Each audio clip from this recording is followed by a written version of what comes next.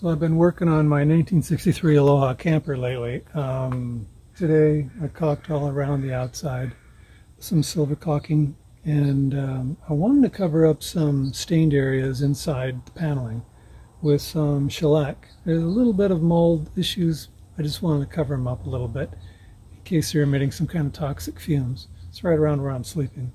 Um, so I went and bought a can of shellac um, this is rattle can um, quart. It was like 33 bucks, and I just decided to get this $14 can. Didn't want to spray it inside the small area, so I decided to look on YouTube, see if there's, there's a way to extract this. They call it decantering. Saw a few videos. One guy in comments suggested, hey, great way to do this is to just bring this upside down and take the bottom off using a side can opener. And he said this is a great way to regulate the pressure coming out. Other guys are like using, you know, awls and punching holes and making messes. So this is what I'm trying out today.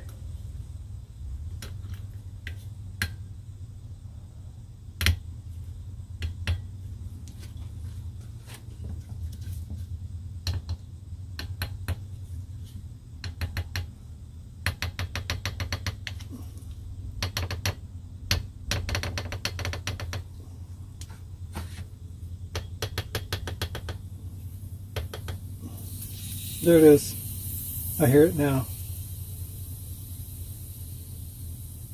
So I'm just going to let that sit for a while, let all of the pressure escape, and we'll come back to this in just a minute. Okay, it's been a few minutes. It's still leaking a little bit. I'm going to get a little more pressure.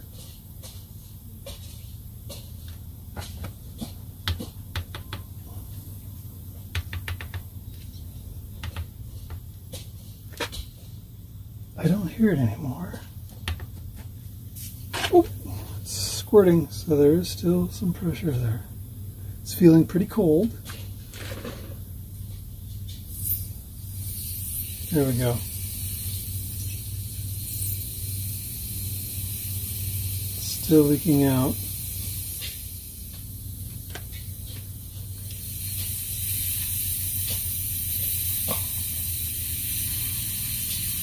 Can you hear that?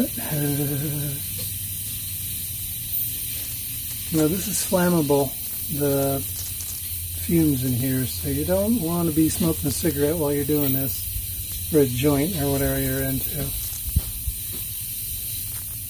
Would not be cool to see your face up in smoke. It's getting real close. I can still hear it a little bit.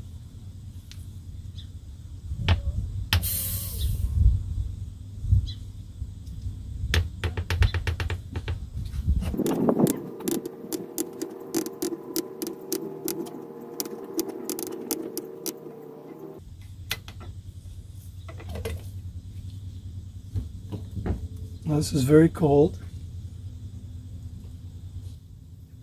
Interesting. It's just a bubbling. I don't know why, but we'll let it settle down for a little bit before pouring it in the jar.